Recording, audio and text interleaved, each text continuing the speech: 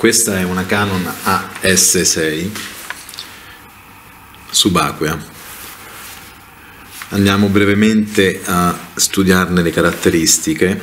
Innanzitutto l'apertura, come potete vedere ha un'apertura che tende ovviamente a sigillarla, va spinta questa leva e va sollevata in questa maniera.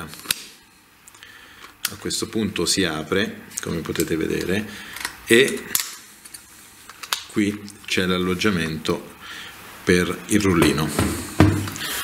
Il rullino è un normale 35 mm che dovete mettere al suo interno. Ora chiaramente non lo metterò perché non è tempo di fare il bagno però poi di fatto va chiusa in questa maniera, va riagganciata nella parte in metallo e serrata. Per le pile vale un discorso simile perché chiaramente è fatta apposta per non lasciare entrare l'acqua e va girata questa levetta che come vedete apre la parte sottostante.